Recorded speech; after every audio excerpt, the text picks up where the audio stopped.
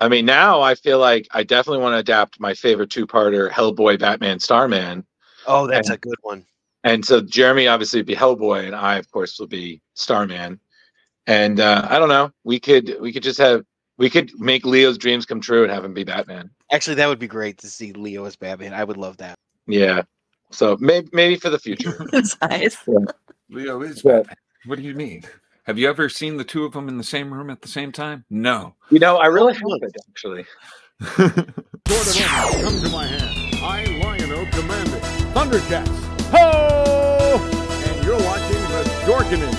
Where we got water, we refueled. Someone definitely went to the bathroom. So I just want to go over this real quick. So we're going to be talking about Hellboy Krampusnacht for the stage directions. Again, we have the fabulous, fabulous Mr. Cooper. It's doing so good. And uh doing Hellboy and the Priest, Dr. Mollo. I'm doing, I'm so excited. I'm a little nervous. I'll be fine. I'll be fine. Okay. Okay. I'm good. I'm good. Let's go. Let's go. Let's go. Okay, the Christmas song lyrics, Ghost Woman, and Liz Sherman is the awesome Carrie Sanders. Yeah.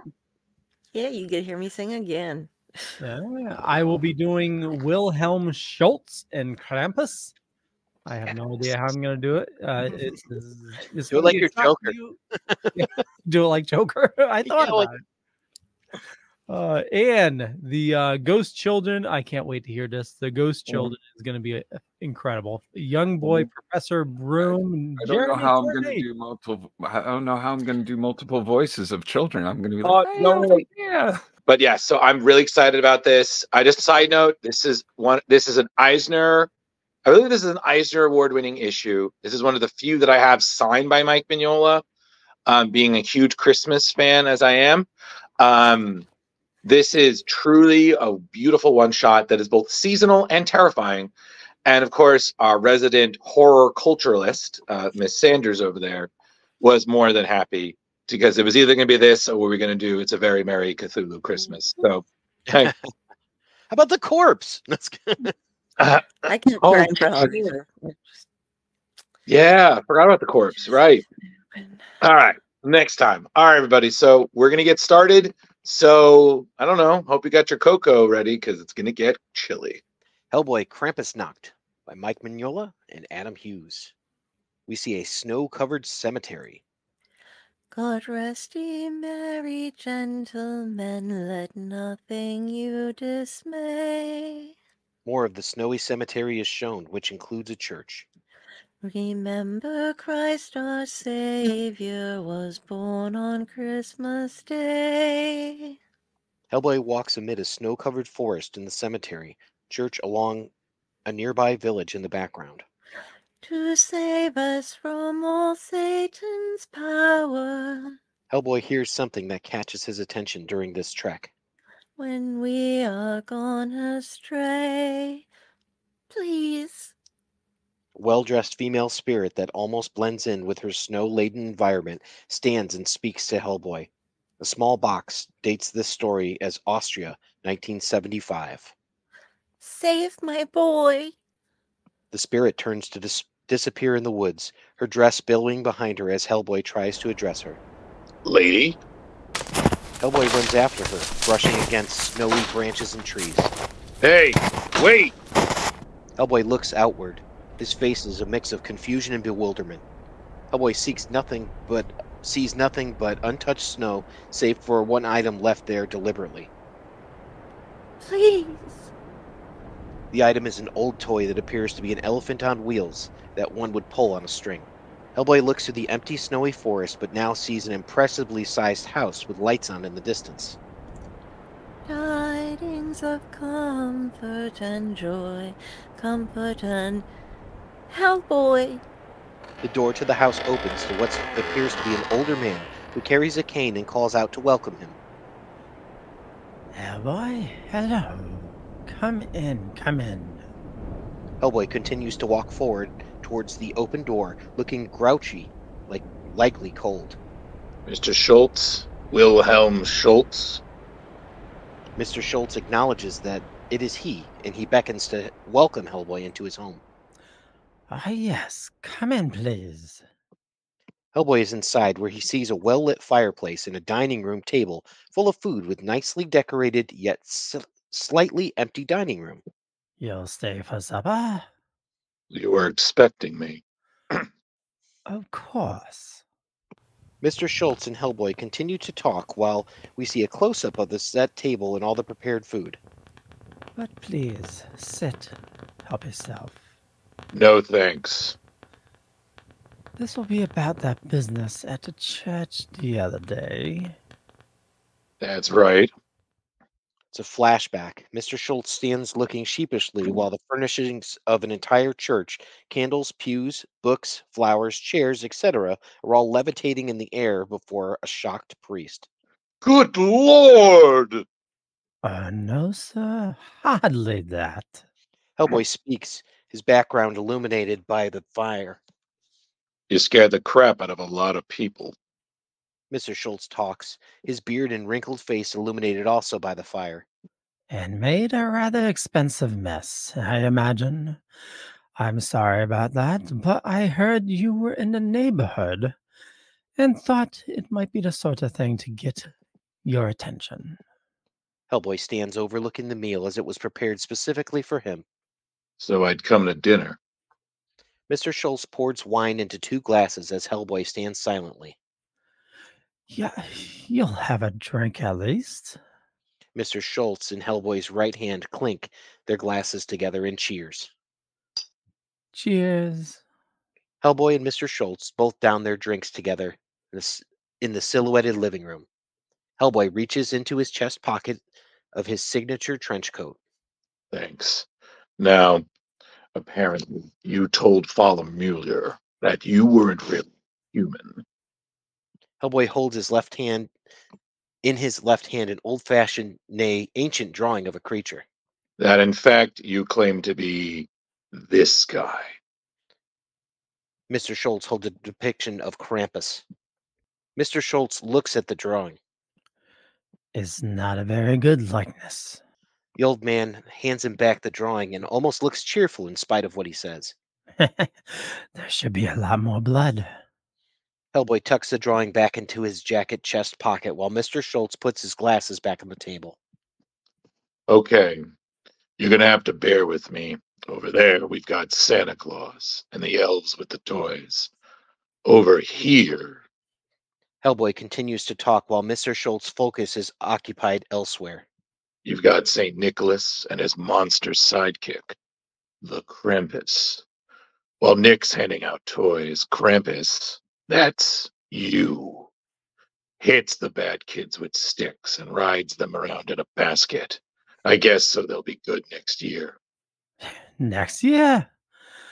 No, once I've had my hands on them, they never see another year. Hellboy isn't thrilled where this is going. Yeah.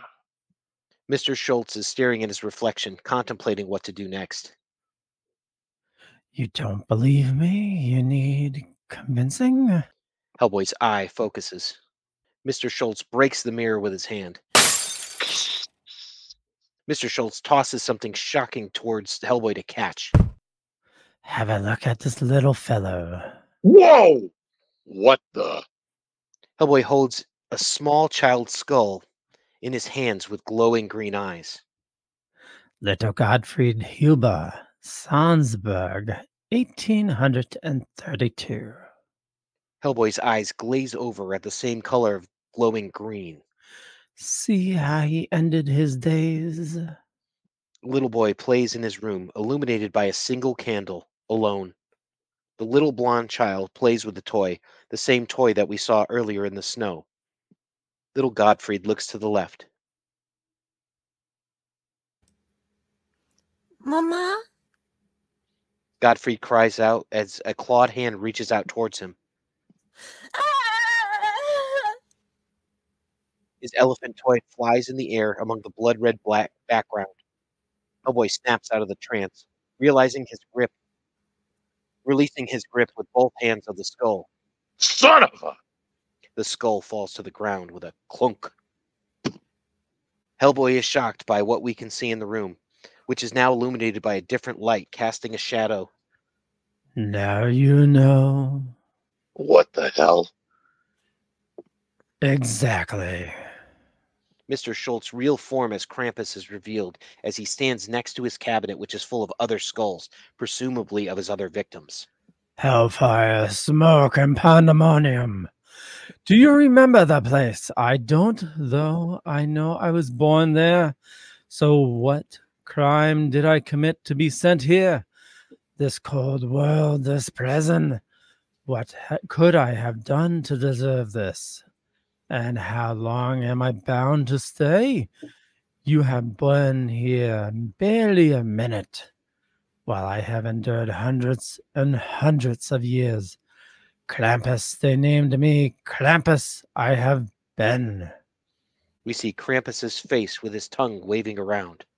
Long enough. I am tired of it. Kill me and send me home. Hellboy raises his gun and fires at the creature. Okay. Blam! Krampus yells out as the bullet hits home, a spatter of blood spewing forward. No! Krampus knocks Hellboy's gun out of his hand. Not like that. Krampus grabs Hellboy's leg and swings him around, hitting the fireplace hard enough to crack the stone. As a man's toy, I'm a prince of hell. Gah! Krampus throws Hellboy at the table, scattering all of the decorations and food everywhere with a big crack.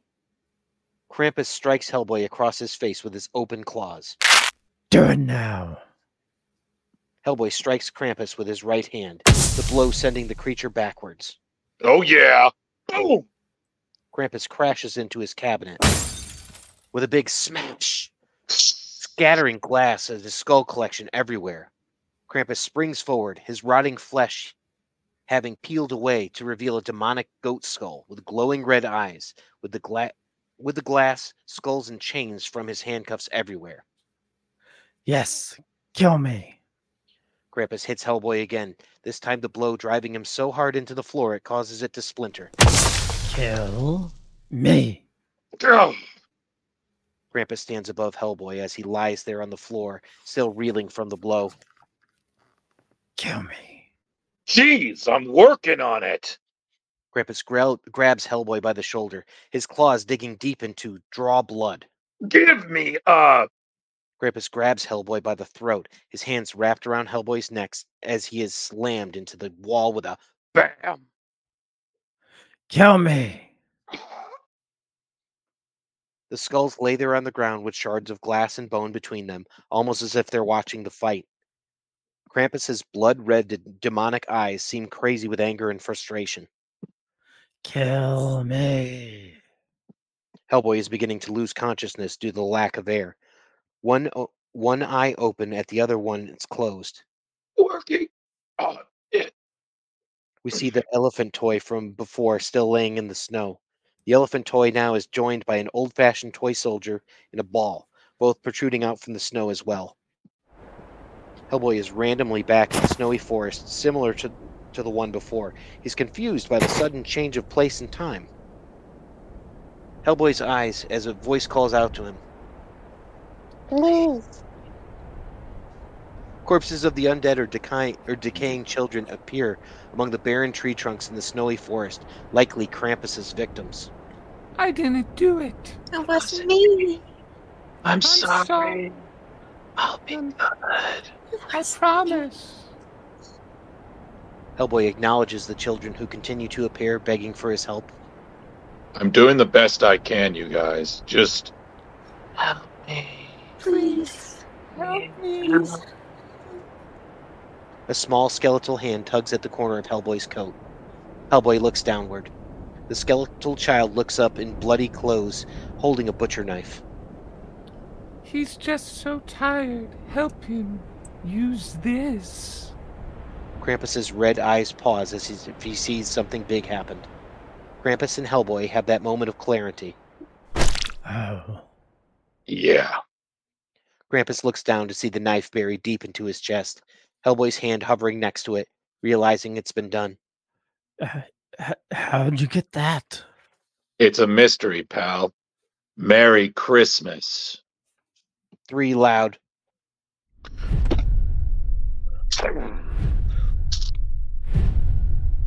attract Hellboy's attention. Now what? Krampus is down on his knees, feeling that his death is finally imminent, surrounded by the skulls of his victims. Hellboy stands there, still trying to understand what's happening, as the ghost child from before appears before him. Th- Thank you, brother. I don't think so. And what's that noise? Bones. A chest in a random part of the, ho- of the house opens to reveal a human skull. This house is full of bones. More skulls pull out of the cabinets and the drawers into the house, spilling into the floor. More and more pour, pull, pour out of the closets and off the shelves of this house of death and horror. Skulls on the floor begin to smolder and billow smoke. Krampus enjoys that his final wish has been granted. Free at last, I. Krampus's face realizes that something is not right. Wait. Krampus looks at Hellboy, who is simply standing there, watching all this transpire. Mm-hmm. What, what's happening? Some, something's wrong. Krampus falls on his back, writhing in pain. Something. Krampus' body transforms into the shape of that of a large ram or goat. Krampus' form shrinks a bit more before stopping permanently. White doves, likely the spirit of Krampus's victims finally able to rest in peace, fly out of the windows and chimney of the house into the night sky. Hellboy braces himself against the wall, happy the ordeal is over. Krampus, animalish corpse, lays there, still with the knife embedded in his chest, as one of the skulls. Well, that was something. 72 hours later, we see a snowy building with that is the BPRD uh, headquarters in Fairfield, Connecticut on Christmas Day. Well, I wonder what old Harry Middleton will make of this. I'll have to call him in the morning. We see Hellboy talking with his mentor, the surrogate f- father, Professor uh, Trevor Broom, one of the BPRD's festive living rooms, while the BPRD agent Liz Sherman sits near the fireplace. For years, he's maintained that the Krampus was actually the demon goat of the witch's Sabbath done up in the fancy dress for the holidays, and I've argued that it was just a slightly nastier variation of the Scandinavian Yule goat. Yule goat. Yule goat, Joulupukki, the pre Christian goatman version of Father Christmas. But I don't think either Harry or I ever considered there might be an actual goat involved. Hellboy continues to talk to Professor Broom while Liz Sherman plays with her pyrokinesis. And not just a regular goat, but a magic talking goat who somewhere along the line forgot he was a goat. Started thinking he was a prince from hell. And when he got tired of doing terrible things to children, he wanted to go back to hell. Except he was just a goat. Who can say, my boy? Who can say? That's a pretty weird story for Christmas. Professor Broom encourages Hellboy with a pat on the shoulder while taking talking to Liz as well. There must always be ghost stories at Christmas, Elizabeth. And you, thanks to you, those poor children will finally receive a proper burial and rest in peace. We see the tops of the snow-covered graves, possibly from a cemetery at the beginning of the story. Hellboy adds his last thought before sipping his drink. And that thing, too. Whatever it was. We see an old-fashioned makeshift cross with the Krampus drawing from before nailed to it. We see the grave in the same forest of that creature previously called its home, the burial marked by the pile of toys from its now rest victims. The The end. Bravo! Nice. Oh, man. Had Uh, yet again- a two minute break, we would have made it. Yeah. Leo, yet again, you creep the shit out of me. A round of applause also for Justin with the biggest part ever, having to Y'all, Read. y'all did awesome. read and read and read. did a And good read. job. I appreciate it. Thanks for uh thanks for the juicy part. Absolutely, buddy. You're always welcome. But uh what did you guys what did you guys think? This is buddy. This Oh, was yeah. a lot of fun. yeah, it was good. Definitely a good time. Poor cat. Stop reaching. But- reach. I'm sorry. I need. I do need to say, Carrie, your singing the lyrics, that was such a good idea. That was beautiful. That was a nice touch to the Yeah. beginning. Great job. Oh, thank you. Yes. I was worried we were going to do it in Austrian. I'm like, there's no way. I'd be, God bless you, very gentlemen. Because I don't know Nope. how to do an Austrian accent. It would It'd just be be so weird. very nice. And then Leo, holy fucking shit. The second you started talking, I was like, oh, I'm creeped out. Yep. Yeah. I was like, oh god. And and uh yeah, and then Carrie, you did good, and and Jeremy, you, you I was I don't know how to say this. You, you did Ghost Children well. I- I- I- Professor was awesome. It's like son of a bitch. Yeah. I think I eventually found my Hellboy voice. I think in the beginning I was kind of searching Oh, I for it. you did really well. Yeah. Yeah. You're Sound great. great. I, I I still I'm sorry, I'm the harsh critic. I still still think Jeremy's was great. The tone and I everything. appreciate it. I like Yeah. them both. So, you know, that's, Hey. that's the thing. So, There you go. different Listen, eras. Listen, you know what? It's it's okay because we, you know, it's the best part. We can have one Hellboy and two Hellboys. Yes, we can. You know. Absolutely. All right. Well, guys, I have to say this is a great way. This is just a boost to the holiday spirit, and Oh, honestly, next week up, huh? Yeah. Indeed. We're gonna so, so everybody, this is officially the last show of Splash Pages for 2023. We because the holidays are gonna wreck us worse than Miley Cyrus's wrecking ball ever did. Um, we are gonna take some time to be with friends and family, recover, um, you know, not really think about what our bank account looks like, Justin. Um and but honestly, and, I, and I'm not going to speak for everybody here, but I do want to say thank you so much for everybody.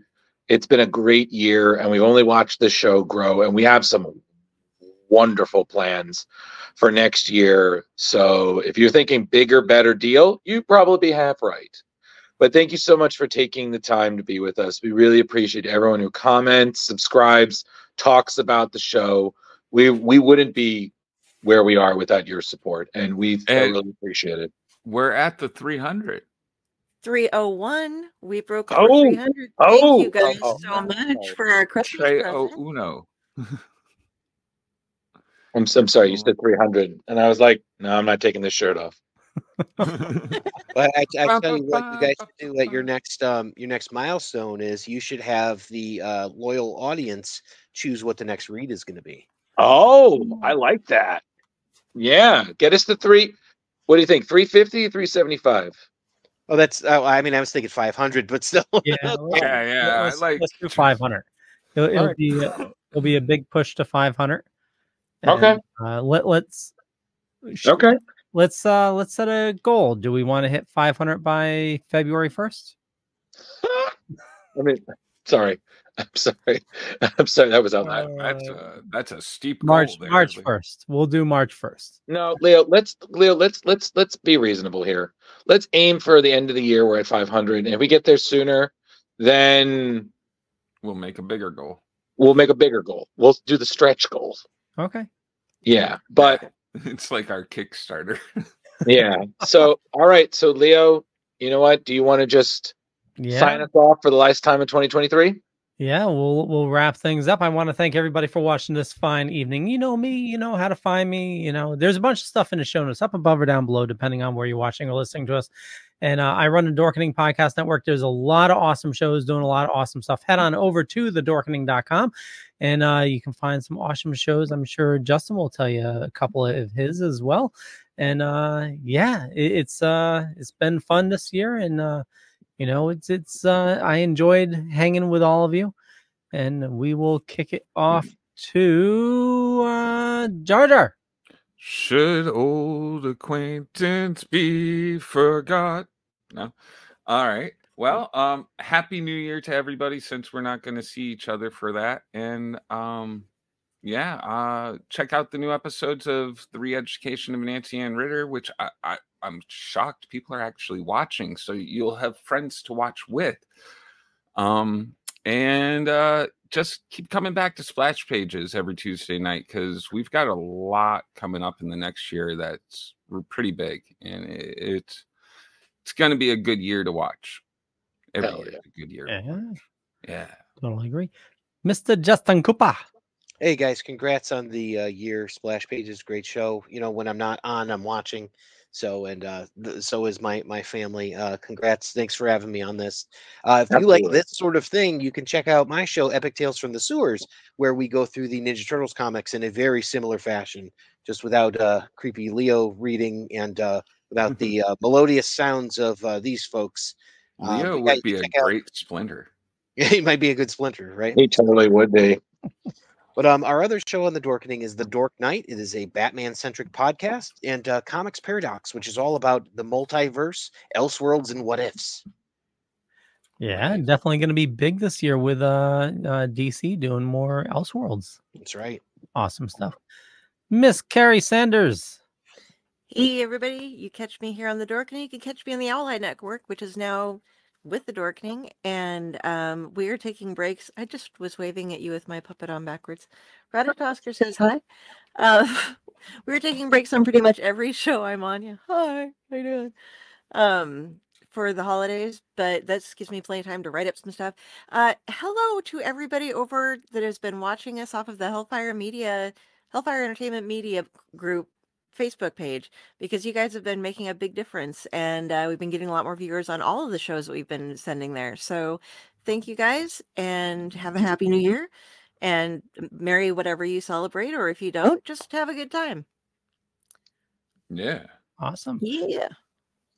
Mr. Drew. Hey, everybody.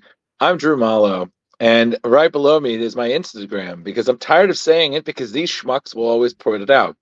So if you if you want to get in touch with me, I'm on Facebook. Um, I don't do a Twitter. I'm on Instagram. And we've got so many great things in the works for next year. A lot of stuff that's you're going to have to stick around to see what we have uh, up our sleeve. Um, but thank you so much. Seriously, it's been a great year, and you know, and we really honestly hope that if you like what you're seeing here, be your own hero. Start your own show. You know, like there's no limit. I mean, heck, Carrie started off as a fan, and now she's a part of the show. You know, so anything is possible if you want hard enough. And honestly, if you do, we would love to to to welcome you into this weird, wonderful world of podcasting and being a fucking nerd. So um, I enjoy it, even though these people drive me crazy every Tuesday. And thank you again for for staying with us. The best and most happy holidays to all of you. Um, whatever you celebrate, whether if you're if you're a Santa, whether if it's celebrating Hanukkah, Kwanzaa, Yule, whether if you're an atheist, whether you're a Scrooge or Grinch, okay? You do you and have a great holiday season. And as always, Merry Christmas, you filthy animal, and a Happy New Year, too. If you're a serial killer, take the time off. Drew, you, you, you left out Satanists. L- You going to discriminate? Nope, nope, nope. We already we did a Krampus story. We talked about hell. We're good enough. We covered bases. All right, everybody. Well, thank you so much for joining us we were so close. We were almost at an hour and a half. All right. Next time. Uh, maybe next year. But thank you, everybody. Be well. Happy holidays and read more Hellboy. Ooh. Bye, everybody. Thank you. Excelsior!